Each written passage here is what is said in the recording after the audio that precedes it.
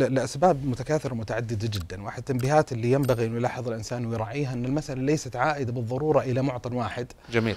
وكون القضية مندرجة تحت الأصول الفكرية والقضايا الفكرية لا يعني إن المعامل المعرفي أو المعامل الفكري في حد ذاته هو المعطى الأكثر تاثيرا. لا الكائن البشري كائن معقد.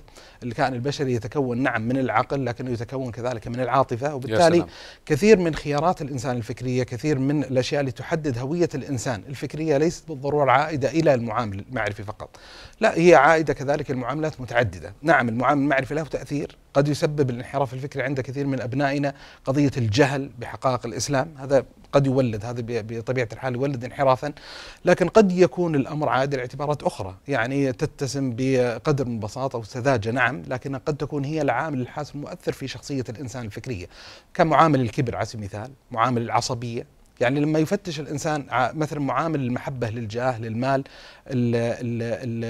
الغير معطيات. يعني لما يتأمل الإنسان في واقع الانحرافات اللي واجهها النبي صلى الله عليه وسلم فكريا من قومه قريش. على سبيل المثال يجد الإنسان إن معامل العصبيه كان عاملا حاسما مؤثرا إن وجدنا أبانا على أمة. على سبيل المثال وجحدوا بها واستيقنتها أنفسهم. استيقنتها لما تنظر مثلا حال اليهود يعرفون كما يعرفون أبنائهم. طيب جميل. إيش الإشكال؟ ليس في المعامل المعرفي كانت قضية الحسد. على سبيل المثال جميل. مثلا ملك الروم هرقل في زمانه زمانه لما ينظر الإنسان في طبيعة القصة المطولة اللي حكاها أبو سفيان رضي الله عنه وأرضاه في لقائه مع هرقل يكتشف الإنسان كخلاصة كنتيجة أن الرجل على مستوى المعامل المعرفي مقتنع بصدقية هذا النبي اللي أوحي وأرسل إلى العرب.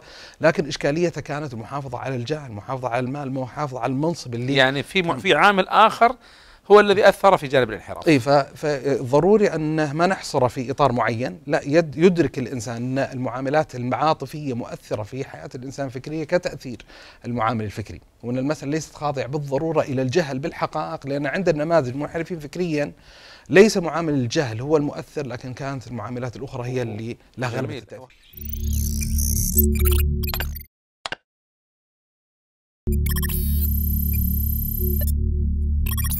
Thank you.